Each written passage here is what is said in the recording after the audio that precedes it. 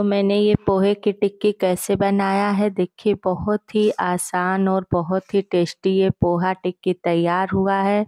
तो पोहा टिक्की आप लोग बनाने के लिए, देखने के लिए वीडियो को फुल वॉच कीजिएगा, तभी आप सभी लोगों को मेरी ये रेसिपी समझ में आएगी। थैंक्स फॉर वॉचिंग हेलो, मैं प्रतीक्षा, आप सभी लोगों का स्वागत करती हूँ अपने यूट्यूब चैनल डिब्बो की रसोई में। तो आज मैं फ्रेंड्स आप सभी लोगों के लिए फिर से कुछ नई रेसिपी लेकर आई हूँ। तो आइए रेसिपी चालू करते हैं फटाफट। तो आज मैं फ्रेंड्स आप लोगों के साथ जो है, देखिए, यहाँ पे मैंने एक कप पोहा ले लिया है। ये है पोहा। तो आज मैं पोहा की रेसिपी आप लोगों के साथ, इसकी आज हम नाश्ता आप लोगों को बना के शेयर करेंगे। तो वीडियो के साथ आप लोग बने रहिएगा। तो यहाँ पे सबसे पहले क्या करना है? पोहे को हमें तो देखिए यहाँ पे फ्रेंड्स, पोहा को जो है हमें भिंगो देना है पहले से। भिंगो देने से क्या होगा कि पोहा बिल्कुल सॉफ्ट हो जाएगा। तो इसे मैंने पहले से भिंगो दिया था। जितना आप लोगों को दिखाया मैंने, एक कप पोहा, इतना ही पोहा मैंने भिंगोया है। आप जितना बनाना चाहती हैं, उस हिसाब से ले सकती हैं। तो पोहा का नाश्ता बनाने के लिए फ्रेंड्स, देखिए, इसके लिए मैंने यहाँ पे तीन ये उबला आलू ले लिया है और थोड़ा सा दो से तीन चम्मच ये सूजी लिए हैं और आधी कटोरी मूंगफली है, कच्ची मूंगफली है। तो सबसे पहले हम मूंगफली को भून लेंगे। तो यहाँ पे फ्रेंड्स मैंने पैन रख दिया है गर्म होने के लिए। पैन देखिए, गर्म हो गया है, ये मूंगफली को हमें भून लेना है। तो यहाँ पे मैंने मूंगफली को डाल दिया है, बहुत ज़्यादा इसे नहीं भूनना है। इसका कच्चापन हम निकाल लेंगे। तो मूंगफली को दो मिनट लगेगा भूनते, ज़्यादा समय नहीं लगेगा। तो यहाँ पे देखिए, मूंगफली जो है चलाते हुए धीरे धीरे जब ये चटकने लगेगा तो मूंगफली हमारा भून गया है। इसे निकाल देते हैं। यहाँ पे मैंने तीन आलू लिया है। आलू को जो है आप एक बड़े बाउल ले लेंगे, उसमें हम आलू को डाल देते हैं और इसे मैश कर लेना है। तो आलू को हम मैश कर लेंगे। चम्मच से या फिर आप हाथों से ही कर सकती हैं मैश। तो यहाँ पे हम चम्मच से आलू को तोड़ देते हैं। आलू को मैंने मैश कर लिया। अब ये जो पोहा हम भिंगो के रखे थे पहले से यहाँ पे मैंने एक कप पोहा पहले से भिंगो दिया था, आप लोगों को दिखाया था। अब इस पोहे का पानी बिल्कुल हमें निचोड़ लेना है। पानी निचोड़ने के बाद अब इसे हम डाल देते हैं इसी आलू में और अब इसमें हम डालेंगे, देखिए यहाँ पे मैंने लिया हुआ है बारीक कटा धनिया। तो धनिया डाल देते हैं, हरी धनिया डाल देंगे और बारीक कटा प्याज ले लिए हैं एक चम्मच। सॉरी, एक हरा मिर्च ले लिए हैं, बारीक कटा हुआ, और प्याज एक बड़ा लिए हैं, कटा हुआ बारीक तो सारे को हम डाल देते हैं इसमें। डालकर इसे हमें मैश कर लेना है। तो यहाँ पे मैंने सभी को डाल दिया है। अब इसमें हम ऐड करेंगे, ये देखिए यहाँ पे। अब ऐड करेंगे फ्रेंड्स। यहाँ पे सूजी लिए हैं। दो से तीन चम्मच के लगभग हम सूजी लिए हैं, ज़्यादा नहीं। थोड़ा सा सूजी का हमें इस्तेमाल करना है। तो सूजी को भी मैंने डाल दिया। अब इसमें हम डालेंगे खड़ा जीरा एक चम्मच। एक चम्मच डाल देंगे काली मिर्च पाउडर।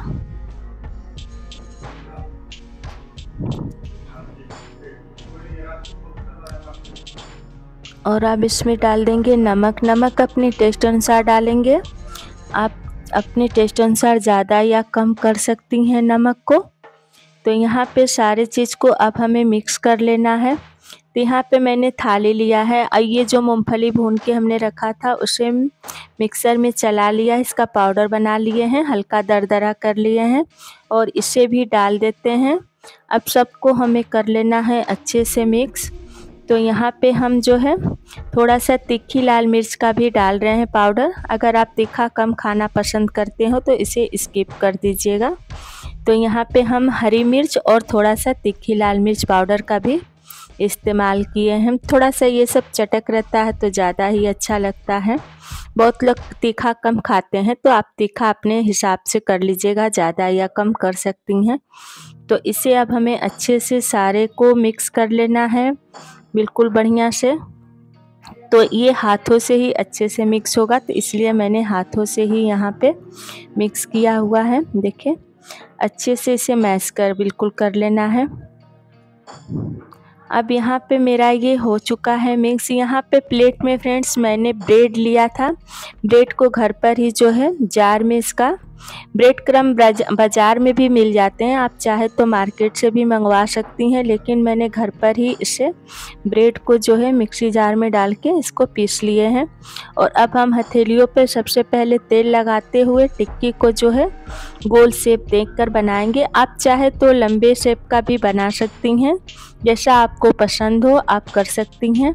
तो यहाँ पे सारे को, टिक्की को हमें ऐसे ही एक एक करके गोल शेप में बस एक बार ही तेल लगाना है, बार बार नहीं लगाना है।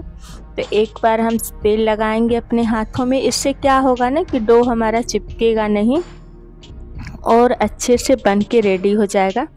तो देखिए, सारे को बस ऐसे ही हमें एक एक करके सबको पहले बना लेते हैं।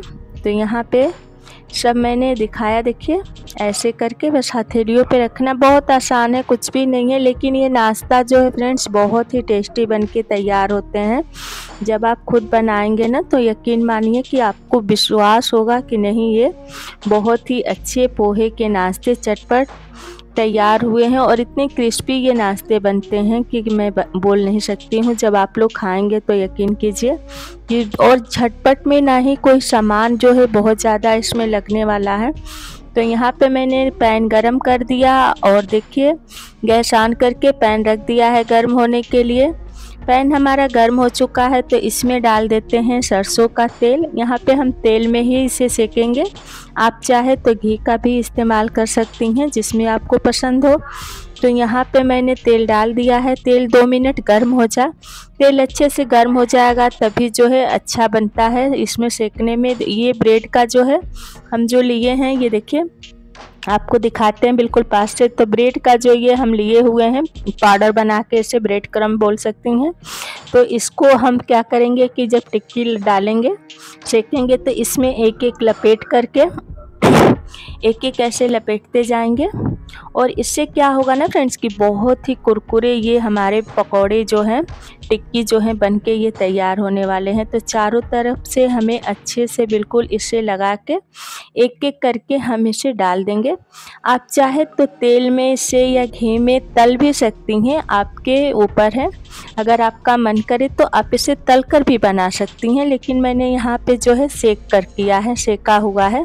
पैन में इससे तेल भी कम लगेंगे और आपके अच्छे बनते हैं। तेल घी के कम इस्तेमाल होते हैं तो आप देखिए ये सेक जाए अच्छे से। फिर इसे हम पलटेंगे। दो मिनट लगेगा इसे पकने में नीचे से। तो ये अब हमारा हो गया है, इसे हम पलट लेते हैं। एक एक करके हम पलट देते हैं। तो देखिए कितना बढ़िया, बिल्कुल लाल लाल ये तैयार हो रहे हैं। बहुत ही टेस्टी ये होते हैं। तो देखिए यहाँ पे मैंने सबको पलट कर सेक लिया है। अब इसे हम प्लेट में निकाल लेते हैं। ये देखिए यहाँ पे मैंने प्लेट में निकाल लिया। एक एक करके सभी को निकाल लेंगे और ऐसे ही बाकी को भी हम सेक लेते हैं। तो लीजिए फ्रेंड्स, हमारे गर्मा गर्म टिक्की बन के तैयार हैं। आप लोग ज़रूर बताइएगा कि आप लोगों को मेरी टिक्की रेसिपी कैसी लगी और हाँ अच्छी लगी हो। तो लाइक, कमेंट, शेयर ज़रूर कीजिएगा। ये देखिए बिल्कुल क्रिस्पी आपको हम तोड़ कर भी दिखाते हैं। बहुत टेस्टी। आप चाहे तो हरी चटनी के साथ या टोमेटो केचप के साथ खा सकती हैं।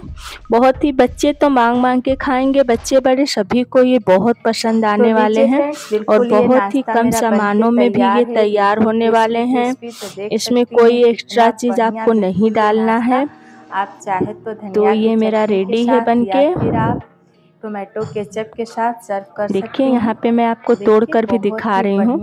तो बहुत ही टेस्टी से टोमेटो केचप आप सभी लोगों से मेरा रिक्वेस्ट है अगर आप लोग मेरे चैनल पे नए होंगे या अभी तक आप लोगों ने मेरे चैनल को सब्सक्राइब नहीं किया होगा तो प्लीज़ प्लीज़ मेरे चैनल को सब्सक्राइब कर लीजिएगा बेलाइकन को प्रेस कर लीजिएगा। आप लोगों को मेरी रेसिपी अगर अच्छी लगी हो तो अपना प्यारा प्यारा कमेंट और लाइक ज़रूर कीजिएगा। Bye bye